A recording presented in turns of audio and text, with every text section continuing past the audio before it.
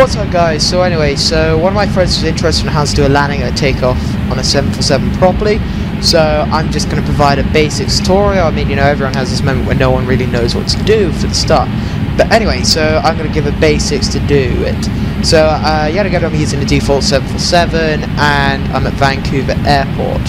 I'm using track IR, so that's why my head moves around a lot.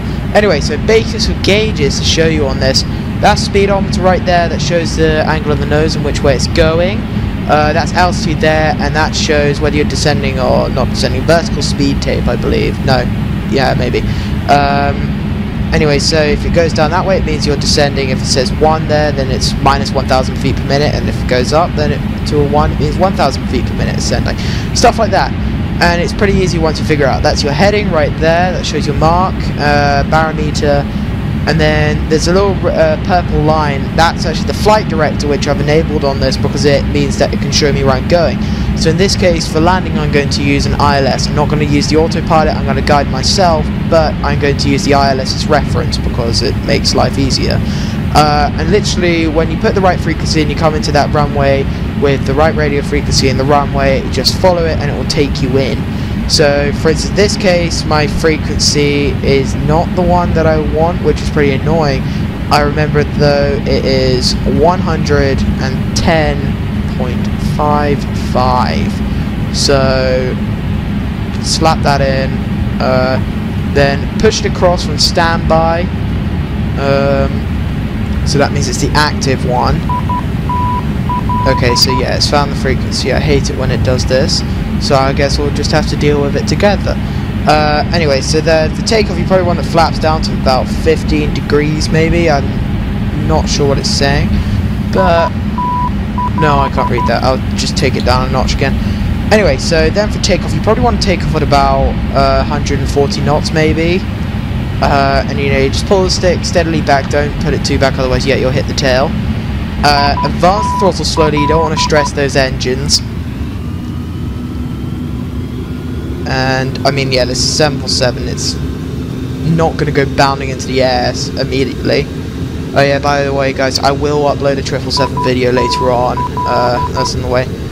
Um, anyway, so yeah, there it goes. It kind of starts bundling off. So you can see now I'm heading 90 knots, 100 knots, and yes, you want to pull up at about 140 because this plane is a big plane. It's, uh, I mean, okay, I haven't had time to calculate V1 and V rotate and V2 yet, and I haven't been paying attention either, which is even better. um, okay. And so once you're up, you obviously put the gear up. You might want to cut the uh, cut the throttle a bit unless you're actually going to uh, do a commercial flight. Right. Anyway, so that's the kind of basic takeoff really. Yeah, you should try and pull up at 140 knots with these particular planes. Uh, and you will go off. One not uh, one habit to get into as well is that you want to be below 250 knots, below 10,000 feet. It's super important, and it's just what current regulations are for civilians. Right. Anyway, so I'll see you in a minute once I've lined the plane around for approach. Alright, so once you've landed the plane around the other side, I've kind of put the nose up quite high. I don't know reason for. Let's just check. Oh, shit, I am. The nose angle's quite high. Oh well. But anyway, I'll straighten up anyway. Uh, so before we go into approach, I'm just going to tell you the basics of what you want.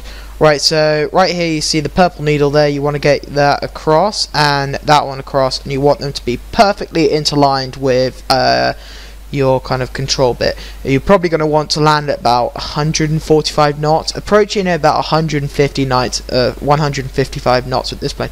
Remember, a 747, they're pretty big, so it's critical that you want to put your flaps all the way down uh, just before landing. You know, just do it incrementally.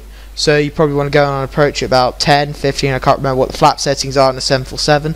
Uh, and then once you're ready, put the whole flaps down. When you're at speed below 180 knots, once you're below 180 knots as well, you probably want to put the gear down.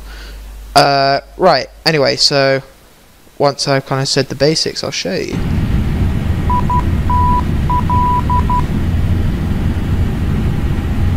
Right, so I'm just trying to get the uh, purple needles those purple lines of the flight director just aligned to my controls.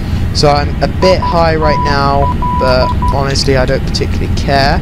If you're a flight simulator user and you want to arm the spoilers, then you should probably press uh, shift question button. That will arm the spoilers such that on landing it will put them up for you, which is even easier and makes life very good. Right, so I'm not using the autopilot right now, I can promise you that. I'm just following the needle because it makes life very easy. Right, so you can probably see now that I'm falling below 180 knots and about to go down to 170. Uh, I just want to make you guys remember that actually this has been a while since I've flown in a 747 on the simulator again. So bear with me. Um, and yeah, so I'm quite high and everything like that.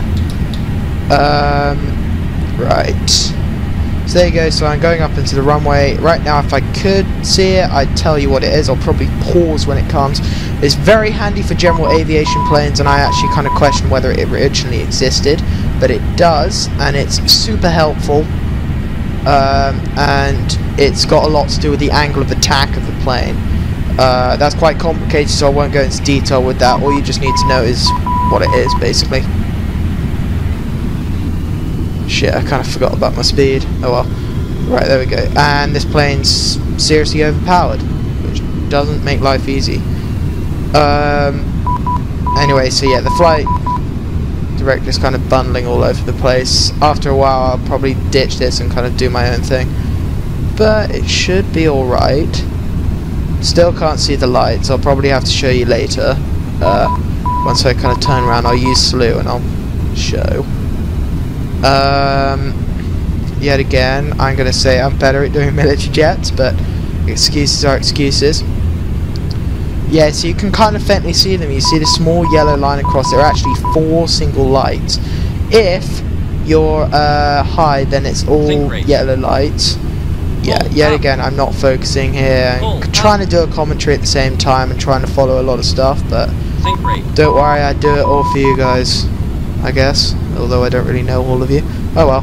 Um, anyway, come on, flight director, fuck you. and anyway, so you're kind of going in approach now, flight director, you see there's two yellow lights and two red lights. This means that I'm at the right angle, at the right setting. Uh, sorry, it means that I'm the right height for this stage. And I'm just slowly and steadily coming in. You know, it's small maneuvers again. Easily, yeah. And I'm trying to keep around 145, but I'm not particularly focusing, and the flight director just kind of went, hey, fuck you, I'll do my own thing. Uh, which was really great for me. Uh, right, so then I'm probably going to cut the throttle by now, just to, uh, so that means I can flare, I'm going a bit fast and a bit high, but, and then you just flare, or I don't know what I'm doing, honestly. This is probably a pretty bad landing. Or I landed a long time ago, but I didn't even hear it, which is great, because I didn't even know. Anyway, so then you press F2 for thrust reversers, and eventually plane stops just before 40 knots. You probably then disengage thrust reversers. Uh, yeah, I didn't exactly expect that I land. I didn't actually hear anything. I'm wearing headphones right now, but they're not connected to the sound and that's because I want my microphone connected and Track IR. Anyway, so basics to uh, roll over. You want to watch this little meter on the side, uh, altitude tape of course, you want to follow the flight director but it was a bit weird for me, partly because I was kind of too reliant on it so I was just kind of going over the place I wasn't paying particular attention to the speed, so learn from my mistakes I guess.